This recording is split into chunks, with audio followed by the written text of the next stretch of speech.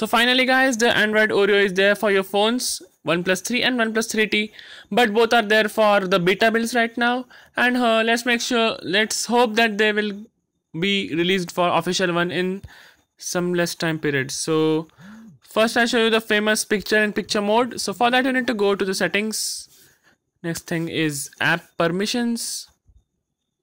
This is the app permission and uh, scrolling down at the bottom you get the special access and there is this PIP picture in picture mode.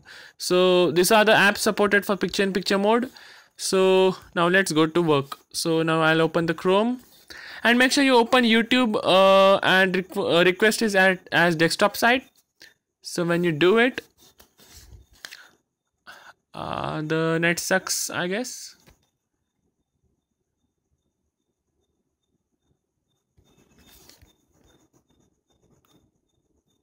yeah so just make sure you play a video. And you go it in the full screen mode.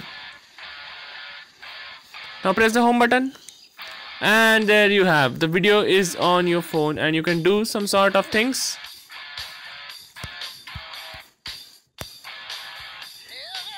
The music is quite nice but tata bye bye so now next thing is the toggles on the notifications notification bar. It is quite good. Uh, you can just do everything with the just one tap. You can disable Wi-Fi. You can turn on your internet.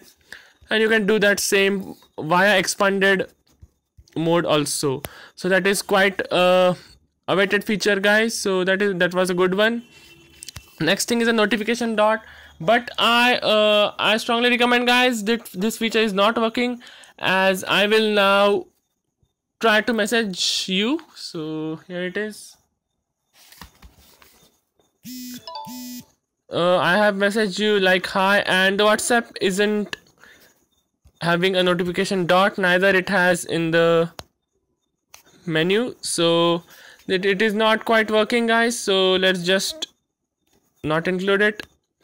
So that was it guys about the videos. Uh, the main feature has been done. So I'll yeah write the battery backup and the transition.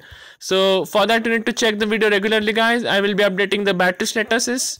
So thank you for watching the video guys and please make sure you subscribe the channel for further updates. Thank you